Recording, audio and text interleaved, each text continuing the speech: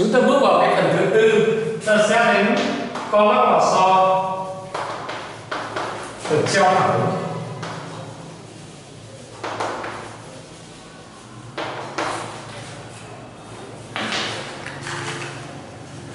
Thế là thế này. Bây giờ ta lấy một lò xo, Một đầu đó, Gắn ở vị trí cố định.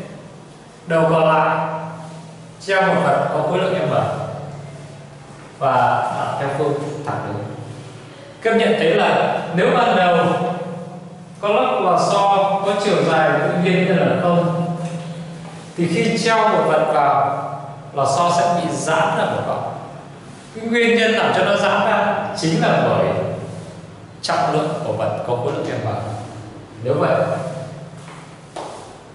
thì cái độ giãn thêm này, nếu ta ví dụ là delta l thì theo định luật hút F bằng K với nhân L. Mà F đây chính bằng trọng lực bằng M nhân với G bằng K nhân với nhân L. Vậy là vật giãn ra trên một đoạn, nhân L được tính bằng M nhân với G chia cho K. Như vậy là khác với trường hợp con lắc lò xo bằng K. Thì trong trường hợp con lắc lò xo được treo thẳng đứng thì vị trí cân bằng về lực lại là vị trí mà lò xo đã giãn ra thêm một đoạn delta L. Do vậy,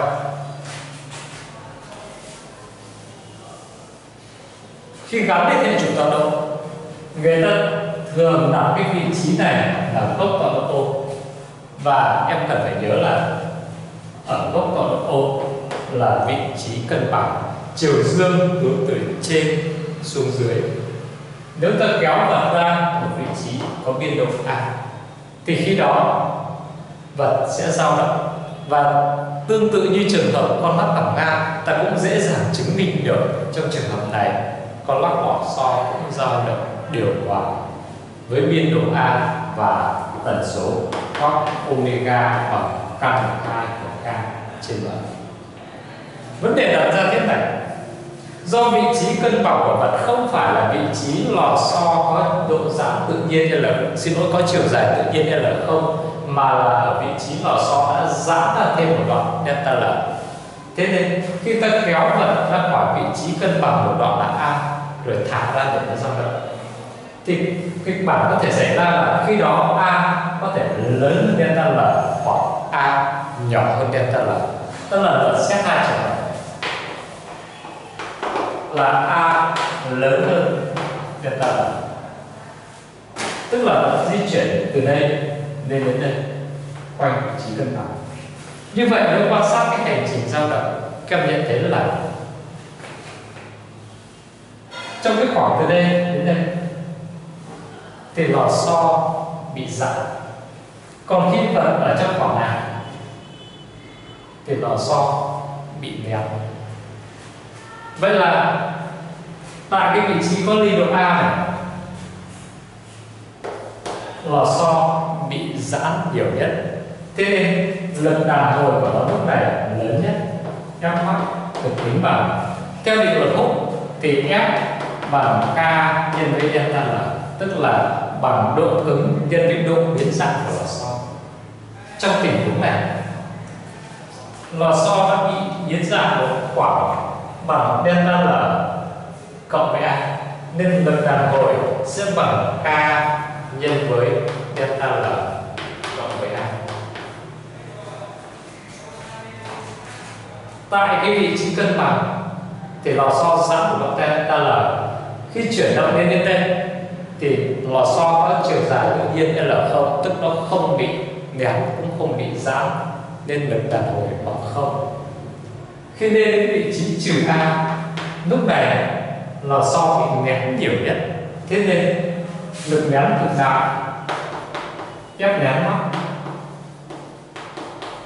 sẽ được tính bằng K nhân với độ biến dạng của lò xo đúng bằng A trừ đi delta L em nhớ là cái khoảng nén đúng bằng A trừ đi delta L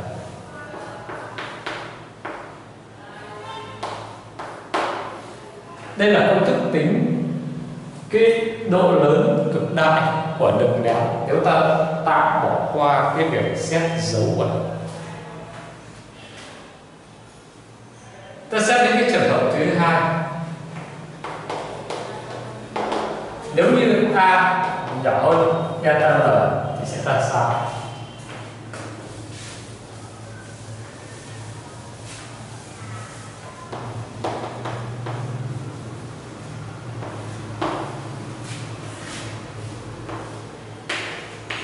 Treo mật vào thì nó giãn ra một cái đoạn là delta l.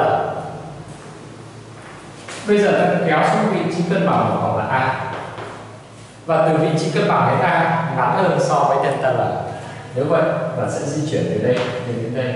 Nếu gắn lên trục tọa độ chiều từ trên xuống dưới, là dương, thì ở đây là a và trên đây sẽ là chiều a. Như vậy là ở vị trí biên A này là so bị biến dạng nhiều nhất, tức là nó bị giãn nhiều nhất. Thế nên nâng đàn hồi cực đại cũng được tính bằng k nên cái độ giãn cực đại lúc này, nó cũng bằng delta L cộng với A.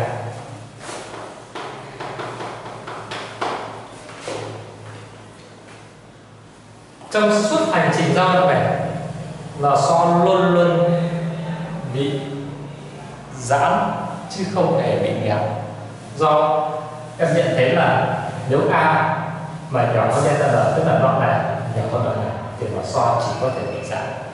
Như vậy ở cái vị trí biên trừ a này, này thì lò xo bị biến dạng ít nhất.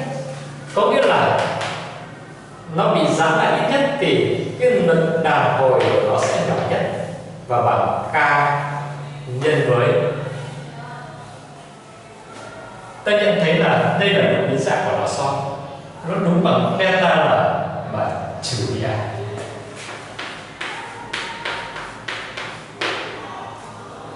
Vậy là bằng cái cách vẽ hình này, các em có thể phân biệt được khi nào thì lò xo có lực đàn hồi lớn nhất, khi nào lò xo có lực đàn hồi nhỏ nhất, khi nào thì nó chịu một cái lực nén lớn nhất và các em cũng cần nhớ là đối với con mắt lò xo treo thẳng đứng thì trong trường hợp a lớn hơn delta l lò xo sẽ có hai trạng thái là bị nén hoặc bị giãn còn trong trường hợp a nhỏ hơn delta l thì lò xo luôn luôn bị giãn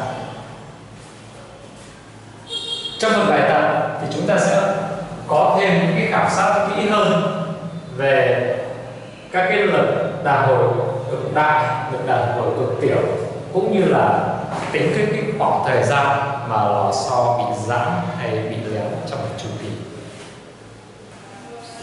Ta sẽ đến cái phần thứ năm.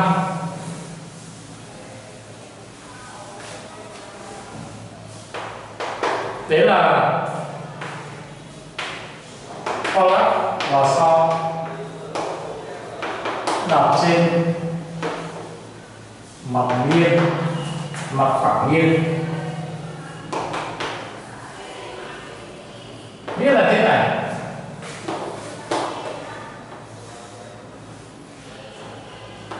Trên một cái mặt phẳng nghiêng so với phương mặt ngang của góc là alpha. Đầu phía trên, ta chốt chặt một cái lò xo đầu phía dưới, ta gắn nó về một vật có khối lượng m lúc này lò xo sẽ giãn ra một vòng là vậy là vị trí cân bằng không phải là vị trí có lò mà không phải là cái vị trí mà lò xo có chiều dài tự nhiên l không, mà là vị trí lò xo bị giãn ra bằng delta l. Vậy delta l được tính bằng cách nào?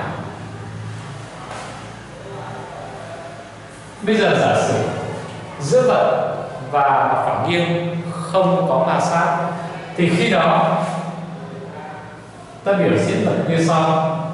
Vật sẽ chịu cái tác động của trọng lực và phản lực của mặt của mặt phẳng nghiêng. Và tổng hợp hai cái lực này sẽ gây ra cái lực làm vật chuyển động.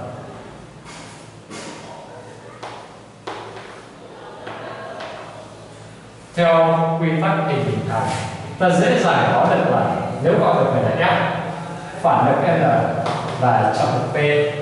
Nếu góc này là alpha, ta cũng dễ nhận thấy góc này là alpha. Và phương của phản lực so với mặt bàn là phải vuông góc với nhau. Nên ở đây ta có góc vuông và ở đây ta có góc vuông. Nếu vậy, thì đường ép này. Mà đem chia cho trong một p thì sẽ bằng đối trên cạnh huyền tức là bằng sin của góc alpha có nghĩa là f sẽ bằng p hay bằng m nhân với g nhân với sin alpha mà theo định luật hút thì f bằng k nhân với delta l là lượng biến dạng ở là so thế nên ta có f bằng m g sin alpha bằng k nhân với delta l. Khi đó, độ biến dạng delta l sẽ được tính bằng m nhân g nhân sin alpha và chia cho k. Vậy trong trường hợp con mắt vỏ so được treo trên, xin lỗi được, đặt trên một cái mặt phẳng nghiêng của góc alpha so với phương là ngang thì khi đó, vị trí cân bằng của con mắt không phải là vị trí lò xo có chiều dài tự nhiên L không, mà là vị trí lò xo có chiều dài L không cộng với một góc delta L. Trong đó, delta L được tính bằng m nhân g nhân sin alpha chia cho độ ứng k